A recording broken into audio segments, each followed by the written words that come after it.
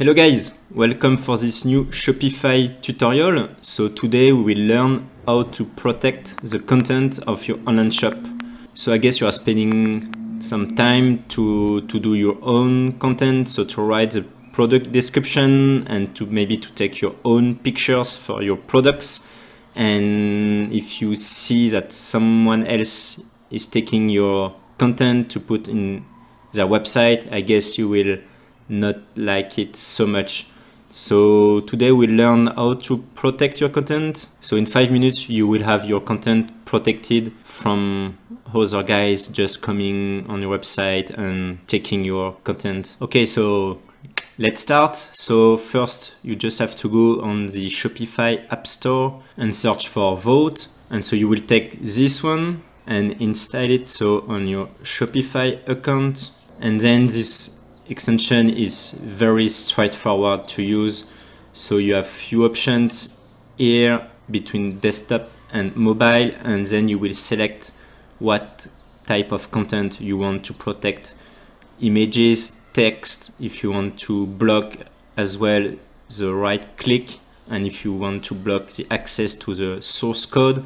So I will uh, we'll have a look just right after. So then when you did your selections, just have to enable the extension. So then first maybe we can have a quick look how it is today. So for example, here with a website, I'm taking as an example. So as you can see, it's uh, personal creations. So the creation of your own partner. So we don't want to see this content on other websites or to be reproduced with someone else. So here you can see because we have high resolutions picture it's quite easy to take the image and save on your desktop and to use it elsewhere.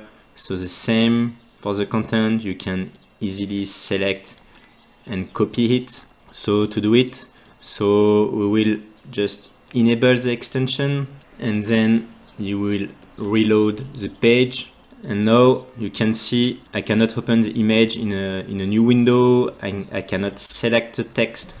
And if I want to open the source code I have this pop-up that is explaining that uh, the content is protected. So this is definitely a plugin I will recommend to you to install specifically if you are writing your content and taking your own pictures for your products. It's something which takes a lot of time and if you start to see it on other websites it's something just can demotivate you. So give a try.